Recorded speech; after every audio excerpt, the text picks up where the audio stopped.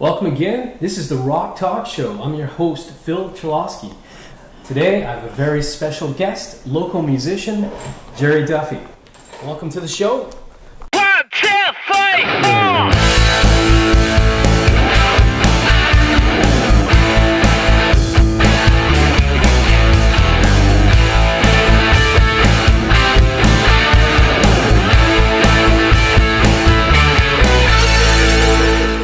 Let's take you back to the beginning. Uh, back, you were born in England. How did you become a musician, and how did that all begin? Well, like most people, I was uh, I was born at a very early age, which, uh, when you think about it, is true, right?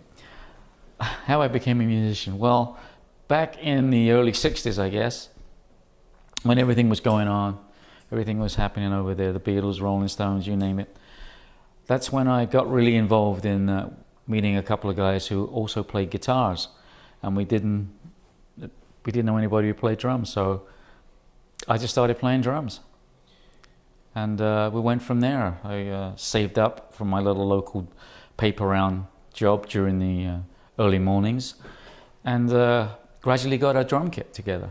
And you're saying at the time, because of the explosion of the music scene, the British invasion, and all that encompassed, it was hard to get instruments. It was hard to find. Yeah, uh, apparently uh, the years 64 through 66 was uh, musical instruments everywhere in Britain were just flying out the stores, as you can imagine. Like everybody wanted to become a musician.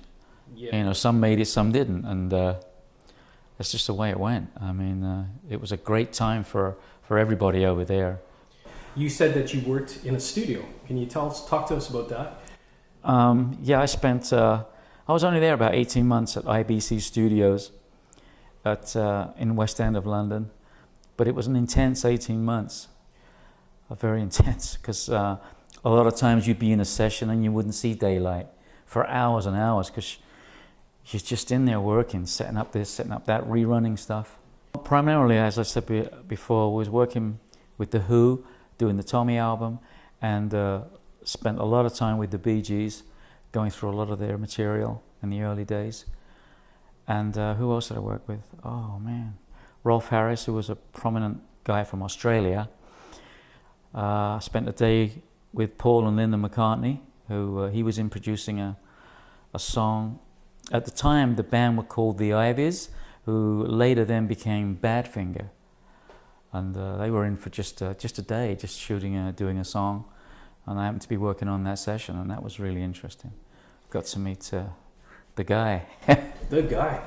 Uh, and you were talking about the Who, how they were different personalities. Obviously, people know Pete, Pete Townshend as the mastermind, but each of them had their own solo careers and pursuits. yeah, uh, well, they did. Uh, at the time, Townshend uh, was producing two other acts. One was called Ashton Gardner and Dyke, which were a sort of powerhouse trio, and uh, another chap called, or band called Thunderclap Newman, who had a pretty big hit called Something in the Air, which was released in North America. And uh, I'm sure if you heard it, you'd, you'd know the song. I'd sing it, but So, uh, quite the difference. People would know the Bee Gees as a softer, obviously went on to do disco and be a big phenomenon in that world, but the Who were a rock band. Uh, can you tell us about the the two bands being so different and working with such different Well, the, the funny thing is, is that one day the band, the Who, would be in the same studio as the as the Bee Gees, but on different days, obviously, because they're so different. But um, uh, on one instance, um, this is a story I I'd heard about that uh, Keith Moon, being Keith Moon, uh, did something rather outrageous one day. He uh, he pushed the the mellotron, which the Gees used extensively on a lot of their material uh, Keith Moon decided he'd push it down the lift shaft. So, so down it went. I wasn't there that day or when this happened, but there was quite a big fuss made about that. So um, I, uh, I decided not to come in the next day because I'd been in the studio for like 18 hours straight. So, Gerry, uh, can you tell us any wild stories, some weird, wacky things have happened in your life as a musician or engineer and studio work? Um, I'll, I'll take you back to a time when uh, we were doing a mobile recording I was uh, working with a chap called John Pantry.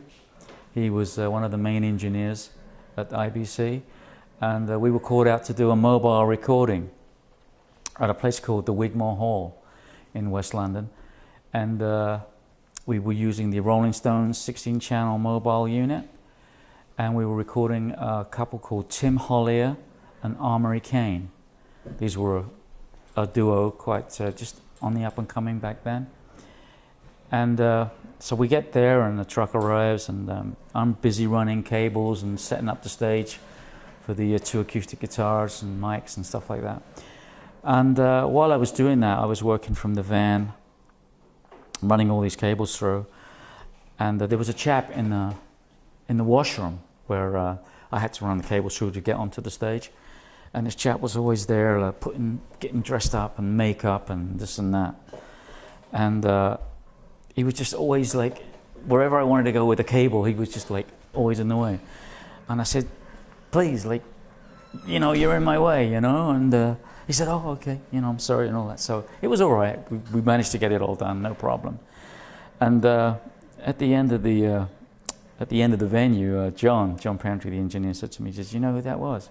I says, no, I had no idea who that was. He says, that was David Bowie, who was getting dressed in the, in the washroom when you were running wires through.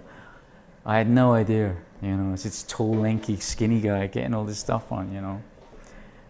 Well, thank you, Gerry, for being on the show. We had a lot of fun.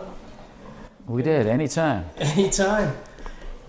Well, that's our interview here on the Rock Talk Show. And we'll see you again. I'm your host, Phil Cholosky. Till next time.